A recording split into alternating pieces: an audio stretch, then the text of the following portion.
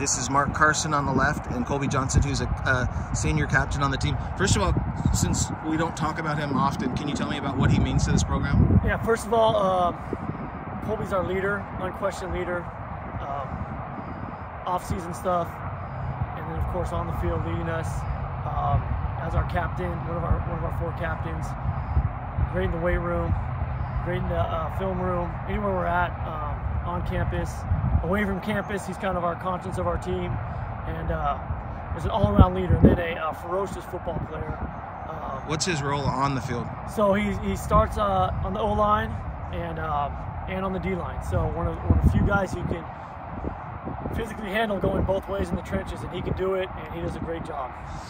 Um, you know, I asked your teammates um, every week. People expect to roll over you guys. Here's this little team from, I mean, I guess it's Arcadia, but whatever. Uh, you guys have 12 and one. That's not by accident. You're the one seed in Division Nine, not by accident. Um, how fun is it to be a part of this group and have so much success? it's really fun because these guys, like you said, they expect to, to beat us, and we go out there, we smack them in the mouth, and they're not expecting that, and it's it's really fun first first quarter to see them how they react to that because they're either gonna smack us back or they're gonna fold. Yeah. Or they might get mad because you didn't send them the right film, right? uh, anyways, Mark, uh, what does Santa Monica do well? Uh, very balanced offense, um, really big up front. So they're they're going to give their QB time to throw, and he's he can sling it all over the field, and then um, they like to run behind those big guys as well. So uh, balanced offense is is uh, something you got to prepare um, for. You know both both aspects of your defense, right up front and, and the back half as well. So it makes it tough, and then defensively, um, very well coached, physical team. Um, who doesn't make very many mistakes. Okay. So with you as a player, as a leader, how do you keep your, uh, you know, I mean, you guys are still kids. You're mature, you're intelligent, but you go up against bigger teams, this and that and the other. How difficult is it, or what's your message to them for Friday night? for Friday night for my team? Or? Yes. All right. So I'd say just to make sure we give it our all, and even if we're losing, make sure win or lose, we we leave it all on the field because we don't want to we don't want any regrets. So And do what you guys do well? yeah, do what we do best and leave it all on the field. Yeah. So aside from turnovers, penalties, the normal stuff for any team, what does Rio Hondo Prep have to do to come back home as CIF champions? I think we got to out hit them, you know, which is which is always a challenge when you're undersized. But um, we, we take pride in that, and so um, that's our goal: to out hit our opposition. So knowing that you guys don't throw the ball often, if you had to, if you're down two scores, if you're down three scores, do you guys have confidence that that uh, Alex can bring you guys back? Yeah, 100%. I have I have confidence that Alex and the receivers can bring us back in the game, and yeah, for sure. And we got plans for that, you know, uh, contingencies for everything. If we're down, And hopefully you're not in that time. moment, right? Right, right. But if yeah, if we do uh, in that spot, we'll we'll have a plan to. What grade are you? I'm a senior. Okay, so is this even more special for you? Yeah, yeah. It's more special because, well, I always thought like, because I've I've been starting since I was a sophomore, so I always thought like, oh, we didn't we didn't win the playoffs. It's okay. I got next year. I got next year. But now that it's like my last year, yeah, it's really special because especially making it this far in my last season. So yeah, So if not not assuming anything about Friday, but let's just say that the season was over and you're talking to your teammates through the camera, what do you want them to know about your time with them? my time with you guys has been my favorite that my whole life, and I know that for the rest of my life, I'll always remember you guys and the impact that you guys have had on my life, and hopefully how I've impacted your lives.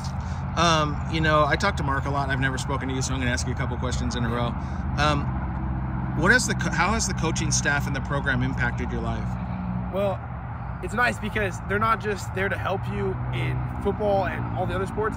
They're there to be, you know, like a guide to you and be someone you could look up to and ask questions if you need any help in school or just at home or spiritually, you know, because we're a Christian school. So if I ever need anything spiritually, I can go ask any of the coaches and they'll help me out. What do you appreciate most about this kid?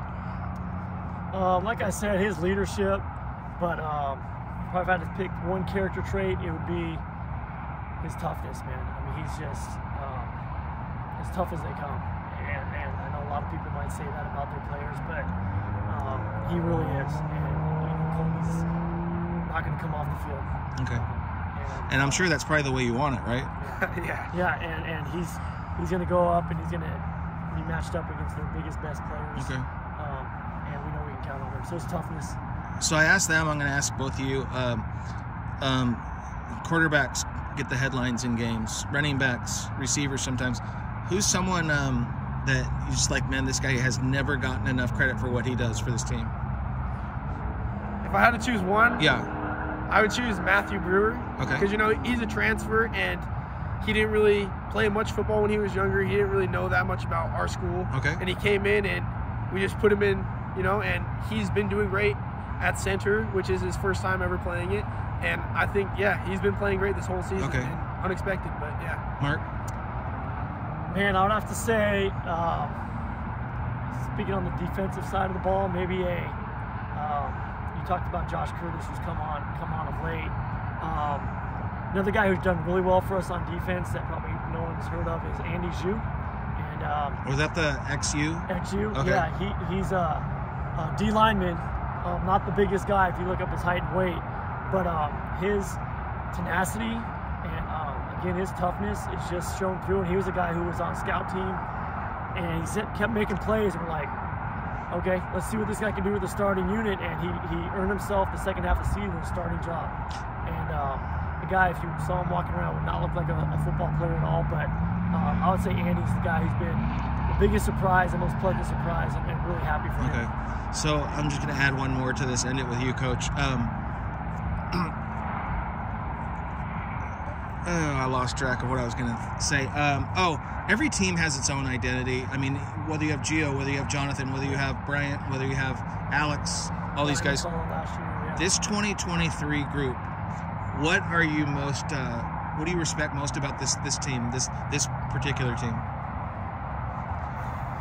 Man, I would have to say, for me, and I don't want to put words in your mouth, but since I've been covering you for five or six years, I've covered you when you've had teams that had more break, 80 yard touchdowns, Yeah. more this and that and the other. And here they are in the finals. I, I, I almost feel like they knew they didn't have the explosiveness that they had to do everything together. Everybody had to do their part. Yeah, and I- for me, that's pretty special. That's a great point. Um, I think, yeah, the togetherness, the brotherhood. we always have great brotherhood at Rio, but um, these guys have traveled together over the summer I really kind of coalesced that. And um, you know, I think a lot of teams will talk about brotherhood, but these guys really they live with each other, right? Okay. And, um, they're very tight. They're in a lot of same classes, right? They're with each other year round, playing different sports, um, and they lean on each other that way. And so the fact that we don't have that superstar, so to speak, uh, I think is only a plus for them in that they know they got to lean on each other. And every guy, every guy has to do his job, whether it's a scout player in practice um, or a two-way starter. They all understand their roles, and there's no selfishness. There's no one looking for the limelight, and so I think that's probably um, the biggest thing. You watch our guys, you know,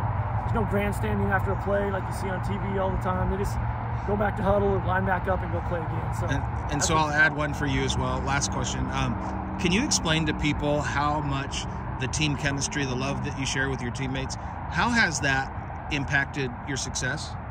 Well, you know, most teams they don't necessarily they're not always friends, you know, on both sides of the ball. But since we're friends on both sides of the ball, we can pick each other up. We can in practice, especially like if a guy needs help, if a guy needs uh, encouragement, we can encourage each other. And it's like, hey man, like you need to do better, but you can do this instead. You can help each other out, figure out, work out problems together, and then off the field, you know, if a guy's struggling with school, we can help each other out in school. Like, oh, maybe we should do homework together, stuff like that. So Okay. just working together to figure out every problem.